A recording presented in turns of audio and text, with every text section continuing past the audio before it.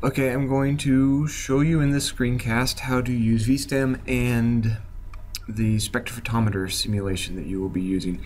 If you go to vstem.org and you are not logged in, you will see a sign that says you must log in to record applet use.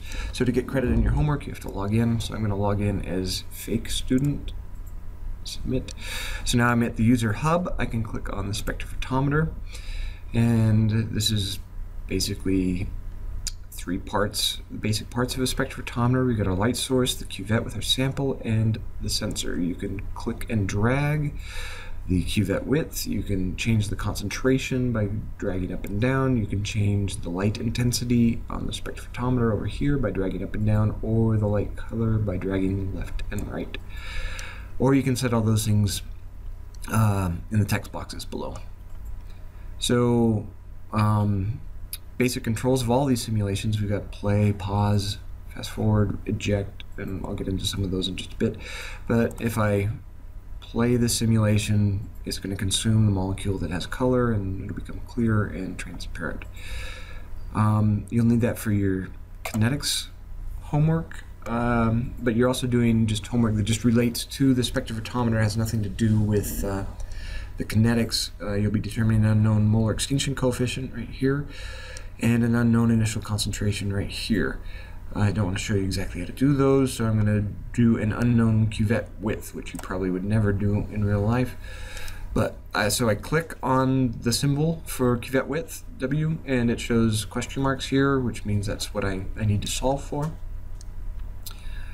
So um, I can't change the cuvette width, that's the thing I'm solving for, so, uh, but I need to get it so that this spectrophotometer is calibrated which would mean that at 100% uh, all the light goes through, there's no um, molecules in there that absorb the light, that I should have 100% transmittance. The transmittance is plotted over here, so 1 would be 100% transmittance.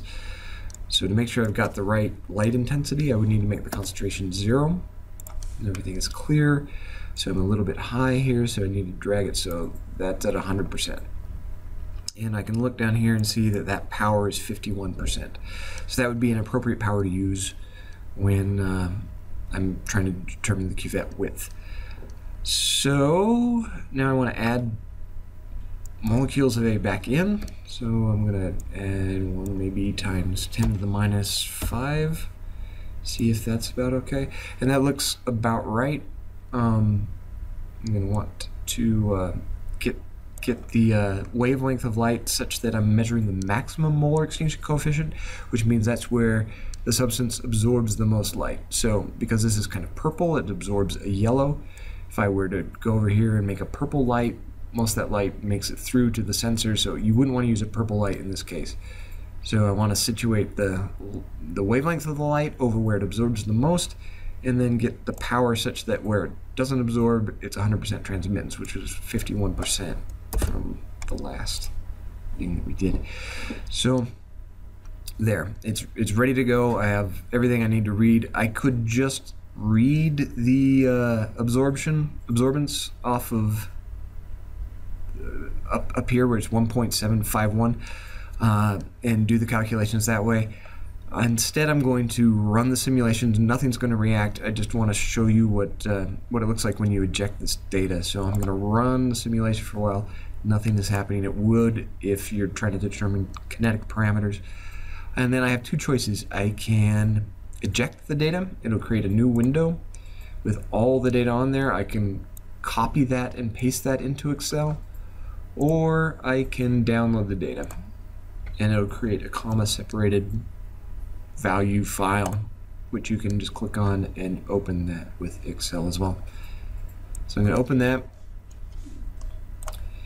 and so here we have everything that we need to calculate the width. The width should be the absorbance. So I'm going to say equals absorbance divided by the concentration divided by the molar extinction coefficient, which is this epsilon A. So I got that. I got a width of 2.7137 something. I'm going to copy that and paste it into the text box there. And I want to do it for credit. I believe I'll get this right. And I got it right. So uh, I'm within error. You're allowed to be outside of the correct answer by 5%. And I was 0.1% off, so I received credit for that assignment. If there's any questions, come find us. We'll help you out.